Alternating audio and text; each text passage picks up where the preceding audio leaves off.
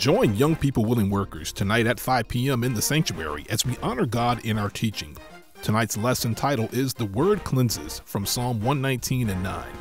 For additional information, call evangelist Cynthia Adams at 919 623 0429 or send an email to cmadams219 at gmail.com.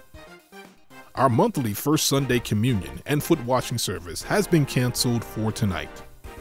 The Children's Church is in need of teachers for ages 4 through 11. If you are interested in serving in this rewarding ministry, please see Elder Curtis Terry or send an email to urchildren'schurch at gmail.com. The Usher Board will meet Saturday, August 12th from 10 a.m. to noon, and the meeting will be held in the sanctuary. Make plans now to support Bishop Wooden August 20th as he preaches at Davenport Temple for Bishop Leroy Jackson Willard. The church is located at 2575 West 5th Street in Washington, North Carolina, and service will begin at 6 p.m. Our youth continue to excel in the classroom.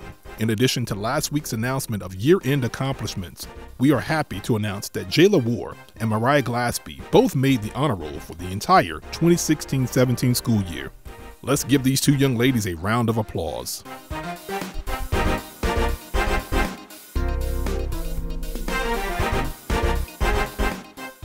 Funeral arrangements for Pastor James Parker's mother, Molly Pearl Bullock, are now complete.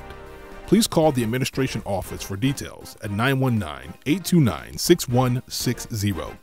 But I want to announce to you tonight out of all of the pastors here present and voting or recommending, Bishop Patrick Wooden has received 100% of all of their support.